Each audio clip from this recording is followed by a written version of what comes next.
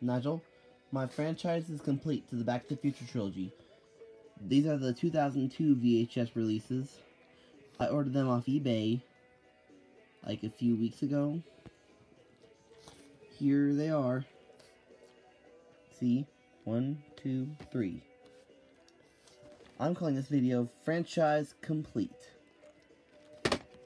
I mean, you can call it Franchise Complete or Problem Solved. I think it'll stick to Franchise Complete. I've wanted this on eBay ever since I found it out.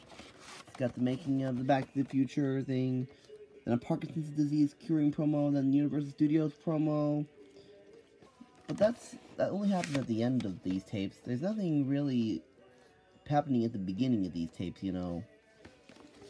But here's part part two. Michael J. Fox, Christopher Lloyd. It's also got Lea Thompson, Thomas F. Wilson. Here, we, here you go.